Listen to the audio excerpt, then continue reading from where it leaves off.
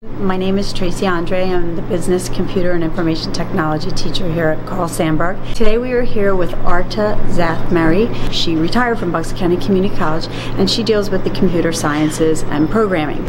I asked her if she could come out and visit my students today here and she said that she would come out and she would teach them about Ollie. And Ollie is a little robot that the students can program using the tablets and they use the little joystick and uh, you may be able to see them in action today.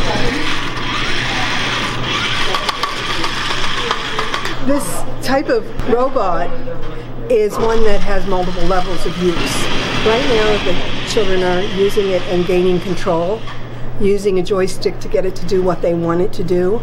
They can do 360s and 570s, and they could create ramps and all that kind of stuff for it. Synchronize your movement of your finger, and you watch that. You try to keep it in control by using small movements or large ones.